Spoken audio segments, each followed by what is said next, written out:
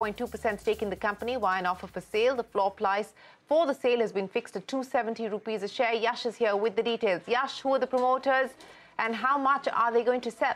Well, well, that's correct, Shireen. It's a sizable chunk which the promoters of Sterling and Wilson Renewable would be looking to sell through offer for sale or OFS mechanism. So the total quantum which these promoters are looking to sell is up to 5.27%.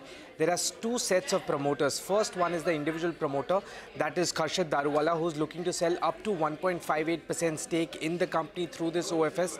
Out of this, about uh, the base issue is about 1.07% stake and the oversubscription portion that is about 0.51%.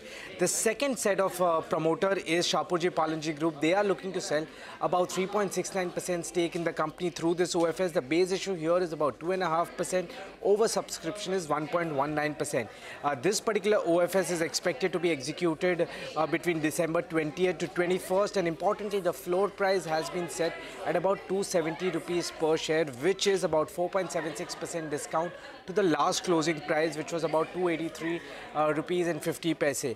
Uh, importantly, this particular OFS will help the promoters of the company to also comply with the minimum public shareholding norms. All right, Yash, many thanks for joining us. Uh, that's the latest there as far as the Sterling Wilson OFS is concerned. But here's a CNBC Awaaz exclusive Dabur India promoters are looking to sell 800